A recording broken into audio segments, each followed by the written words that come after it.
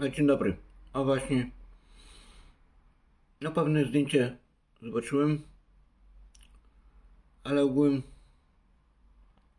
chcę bardzo przeprosić widzów za to, co się ogółem stało. Nie wiedziałem, że to tak po prostu.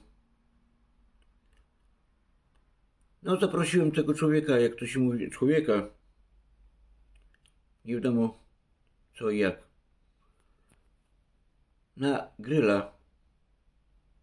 I postawiłem alkohol, żeby napił się normalnie.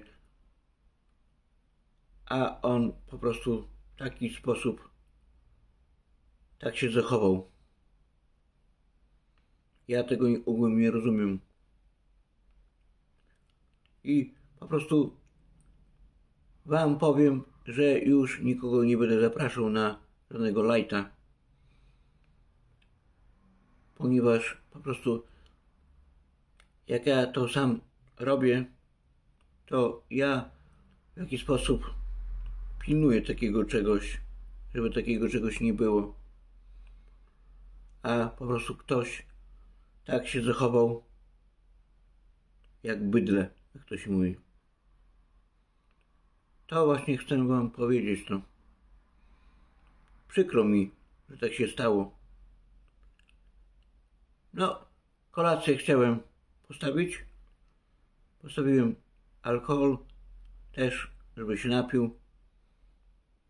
Do tego, jak to się mówi. A ta osoba tak się zachowała, jak ogółem bydle, jak to się mówi. Już więcej po prostu nikogo nie będę zapraszał. I ogółem przepraszam Was, że tak się ogółem wydarzyło. Przykro mi ogółem. No, na razie. Miłego dnia.